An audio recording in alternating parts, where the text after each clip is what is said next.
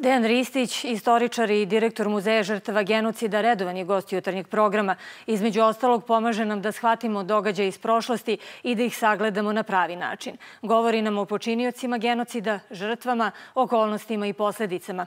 I danas je sa nama, nažalost drugim povodom, ispričat će nam ličnu priču o tragediji koja se dogodila u školi na Vračaru. Gospodine Ristiću, nije dobro jutro, nije dobar dan. Imate dvoje dece, nećemo spominjati poli uzrast, osim ako vi to ne želite. Obe su direktno vezane sa školom na Vračaru, poznaju decu i stradalu decu i braću i sestre stradale dece. Kako su vaša deca u ovom trenutku i kako je vaša porodica?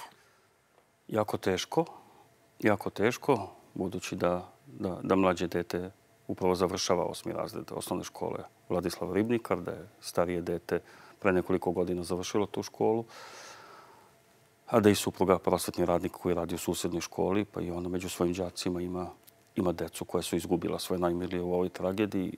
Izuzetno teško, što su ovo događaji pred kojima zanemite, pred kojima ne možete da nađete pravu reč.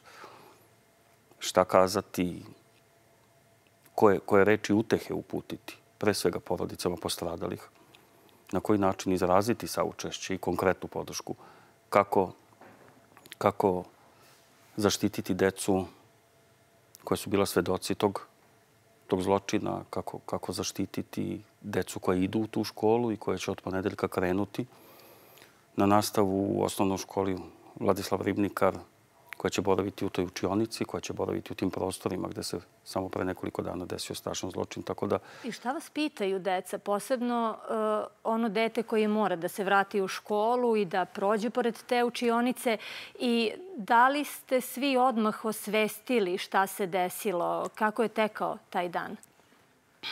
Taj dan je bio potpuno, potpuno zastrašujući i ovi dani, naravno, koji su usledili sve do sada. Uh, u početku je bio to šok posle koga se satima čutalo i plakalo.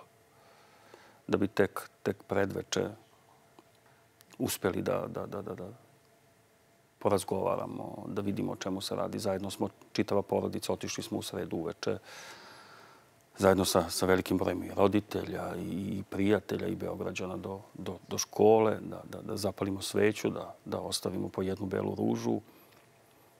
I taj boravak i, prisustvo te mase sveta, uljudnog, pristojnog sveta koji je došao da ožali našu zajedničku decu, jer smo svi izgubili decu. Ne samo njihovi roditelji, već pre svega svi. Apsolutno smo kao društvo doživjeli ovim tragičnim događajem potpuni poraz.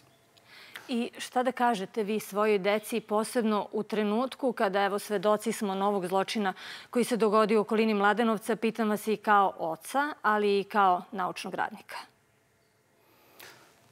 Da li možete da, da razmišljate odvojeno? Da, da, teško je. Teško je zaista, posebno sad i nakon ovog najnovijeg zločina masovno koji se desio noćas u Mladenovcu i okolini.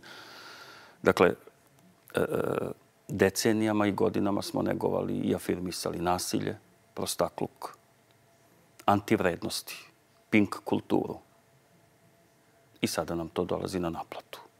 I moramo hitno da reagujemo, moramo da obnovimo one istinske vrednosti moramo da sankcionišemo i da eliminišemo sve ono što je zatrovalo ovo društvo u prethodnim decenijama i godinama i da probamo vrlo brzo da reagujemo. Događaj koji su se desili u prethodnih 48 sati ne daju nam pravo da budemo ni, ni, ni relaksirani, ni opušteni, već naprotiv beskrajno odgovorni. I da li ste uplašeni? Da li ste uplašeni? Kao muškarac ne. Kao roditelj i građanin ove zemlje da. Da, svakako da. Zbog čega? Šta vas najviše brine i koji su vaši strahovi? Da li imate u ovom trenutku možda konkretan predlog, odnosno da ste negde e, pomislili šta bi bilo najbolje i najlakše uraditi uh, u prvom trenutku. Ne mislim možda samo na obezbeđenje škole, možda na tu psihološku podršku. Šta, šta svoje deci kažete i šta čitate iz njihovih reakcija kao tu prvu i primarnu potrebu? Ono do čega smo došli, to je da ne samo da dom više nije bezbedan, podsjetimo se samo brojnih slučajeva porodičnog nasilja koji se dešavaju svakodnevno, da javni prostor nije bezbedan. Sada, posle ovoga, ni škola nije bezbedna. Dakle, postavlja se pitanje gde smo bezbedni. Vaša supruga je prosvetni radnik, ona radi sa decom. Evo slušamo ovih dana posebno da se negde izgubila saosećajnost, empatija, da deca jure ocene, da roditelji, mi roditelji od dece zahtevamo uspeh u tom smislu. Šta kaže vaša supruga? Da li se slaže sa tim? Znate kako, čini mi se sad, sad ću, ne mogu da govorim u njeno ime i ona je potpuno, potpuno potrešena što radi u susednoj školi i oni su evakuisani kada je došlo do, do, do, do ove tragedije. I, ali hoću nešto da kažem što ponavljam već godinama kao, kao građanin i kao neko ko je već četvrt veka u kulturi. A to je da mi roditelji iznova treba da postanemo partneri učiteljima svoje dece, a ne njihovi najveći protivnici. Nije poenta u oceni, poenta je u znanju i vaspitanju, dakle u obrazovanju i vaspitanju. I taj trougao koji čini dete, roditelj, učitelj, treba ponovo i vrlo brzo da bude obnovljen. Jednim delom smo i mi roditelji zbog prevelikih ambicija i očekivanja od svoje dece doprineli tome da nam škole izgube i obrazovnu, a posebno vaspitnu funkciju u prethodnim godinama i decenijama. I sada je pred nama taj ozbiljan zadatak da svi kao društvo i svako od nas pojedinačno radi na tome. Kako bismo iznova stvorili atmosferu u kojoj se afirmiše i neguje znanje, nagrađuje znanje, lepo ponašanje, one istinske vrednosti, humanističke i hrišćanske, ukoliko hoćete. Dakle, ta zajednica znanja je nama neophodna više nego ikada do sada, u svim oblastima. I atmosfera gde ćemo se brinuti o svom podmlatku, o tim mladim ljudima koje smo kao društvo zatrovali u njihovoj mladosti.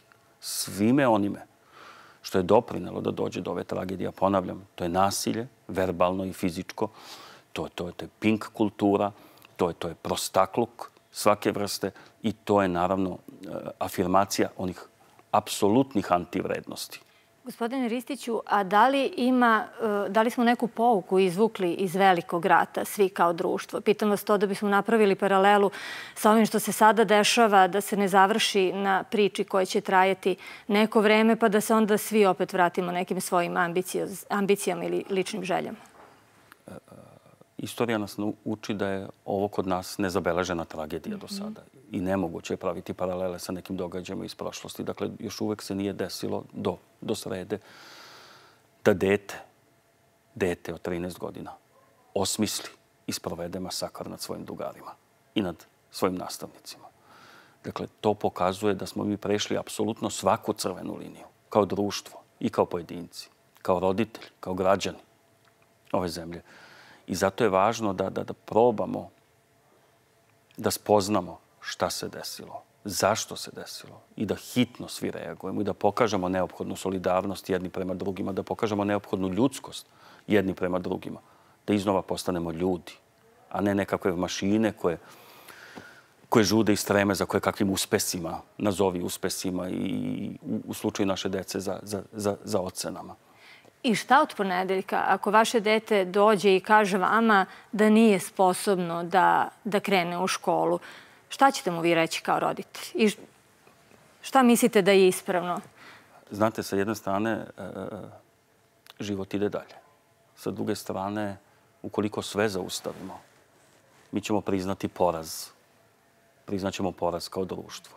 Dakle, moramo da budemo i vrlo delikatni i vrlo nežni prema deci posebno deci u osnovnoj školi Vladislava Ribnika, ne samo mi roditelji, njihovi srodnici, već čitavo društvo. Dakle, njih treba i ohrabriti, i obodriti, i pomoći da na neki način, znate, njima je ostalo još mesec dana do, do kraja škole. Mom detetu i njenim vršnjacima sledi mala matura, sledi prijemni ispit. Oni u ovom stanju tome ne mogu da pristupe. Zaista ne mogu da pristupe. I, i potrebno je pomoći im da nekako u, u danima i nedeljama koji dolaze da se vrate u svoju školu na način da, da, da, da profunkcionišu i da, da, da, da taj prostor koji je Siguran obriven prostor bi krvlju, da bude. nekako ne znam. Ne znam, zaista ne znam. Gospodine Ristiću, jasno je da je teško i vama, teško je svima danas u Srbiji, dalje smo u neverici, e, jedva smo procesuirali taj prvi zločin, desio se drugi. Želim vam mnogo sreće i svima nama i da iz ovoga nekako izađemo daleko pametni. Dejan Ristić u ulozi oca bio je gost jutarnjeg programa i podelio sa nama svoju ličnu priču.